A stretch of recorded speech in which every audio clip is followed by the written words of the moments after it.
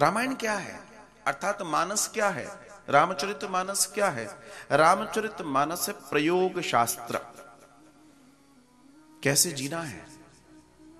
अपने जीवन को कैसे आगे ले जाना है? कैसे ठाकुर जी का हो जाना है? एक पुत्र का धर्म क्या है? एक पिता का धर्म क्या है? एक भाई का धर्म क्या है? एक मंत्री का धर्म क्या है? एक सेवक का धर्म क्या है? एक भक्त का धर्म क्या है? एक प्रजा का धर्म क्या है? अनेकों अनेकों दर्शन, जो धर्म की चर्चा है, वो वो रामचरित मानस, अर्थात राम का दर्शन है। इसलिए कई बार लोग कहते हैं, हम कृष्ण को जानते हैं। मैं कहता हूँ, कृष्ण को कैसे जान सकते हैं? जब तक राम की मर्यादा का चश्मा नहीं होगा। कृष्ण बड़े आड़े तेड़े हैं साहब। वो इतने आसानी से करीब नहीं आने देते। उनको समझने के लिए एक मर्यादित जीवन एक एक एक, एक श्रृंखला चाहिए मर्यादा की। वो राम देते हैं। तो जो प्रयोग शास्त्र की चर्चा है वो वो रामायण है। पहले जीवन में इन तीनों को समझिए। और जब प्रयोग उत्तम होगा जब प्रयोग श्रेष्ठ होगा तो प्रयोग हमें अगर ठीक प्रयोग है तो वो योग की ओर ले जाएगा। और वो श्रीमद भगवत गीता है। योग शास्त्र जहाँ योगेश्वर श्री कृष्ण पूरी दुनिया को संदेश दे रहे हैं। कर्म का, कर्म की गति का, कर्म के प्रभाव का। अगर आपका प्रयोग ठीक है तो योग ठीक होगा। और योग ठीक है, जब तुम उस दर्शन को जान जाओगे तो फिर तीसरा शास्त्र है, वियोग शास्त्र, श्रीमद भागवतम। जिसका शीर्ष गोपियों का वियोग है, भगवान से मिलने का एक सरल रास्ता है। तब हम वहाँ पहुँचते हैं। पहले प्रयोग करो, योग को जानो, फिर वियोग की चर्चा होनी चाहिए। और जब वो वियोग में हम पहुँचते हैं, रास पंचाध्याय में, तब जाकर हमें समझ में आता है कि कृष्ण क्या है। जिन कृष्ण को हम जानने बैठे वो क्या है? और उसे ही जानने के लिए गोपियाँ गोपी गीत और विरह में जी रही हैं। वही दर्शन है। वही दर्शन है। और जिसके जीवन में ये दर्शन है, वही उस दर्शन के लायक है।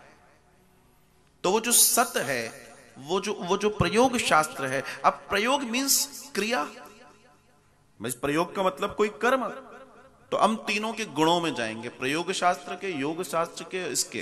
तो प्रयोग मतलब क्रिया और और और योग मतलब विचार। उस विचार को उस स्तर पे ले जाए, ये योग, योगेश्वर श्री कृष्ण की ओर ले जाए। और तीसरा वियोग मतलब भावना, जो श्री कृष्ण के चरणों में लगी हो, जो श्री राधा रानी के चरणों में लगी हो। ऐसी भाव, अगर आपकी है, क्रिया भी गोविंद के लिए हो, विचार भी गोविंद के लिए हो, और भावना भी गोविंद के लिए हो, गोविंद ना मिले, ऐसा हो ही नहीं सकता। मनसा वाचा कर्मणा की चर्चा है यहाँ।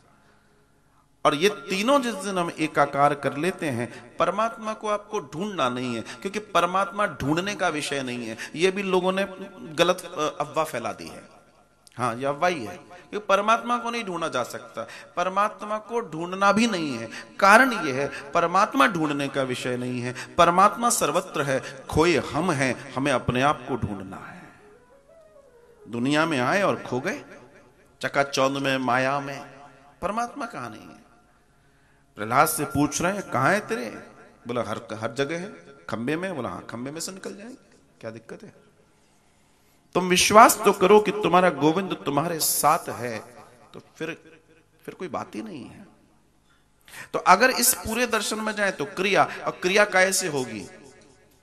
हाथों से, अगर दूसरे दर्शन में जाए, करने का कर्म करने के लिए भगवान ने हमें दिया है। अगर नॉर्मल नॉर्मल भाव से ही कर रहे हम। और विचार हृदय से होगा। विचार तो हृदय से ही होगा। हमको विचार हृदय से ही करना है। और भावना मस्तिष्क में पैदा होगी।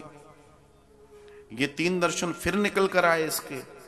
और उसके बाद अगर यही हम समझें तो जो करना है, यही सद है, यही चिंतन जो हृदय में सदकर्म करो। मतलब अपना कर्म हमेशा सदकर्म करो, सही करो। हृदय मतलब मन के अंदर आपका चिंतन सुंदर होना चाहिए और भावना मस्तिष्क में गोविंद का आनंद ही आनंद होना चाहिए। तब है जीवन का कल्याण। इसी को कहते हैं सच्चिदानंद।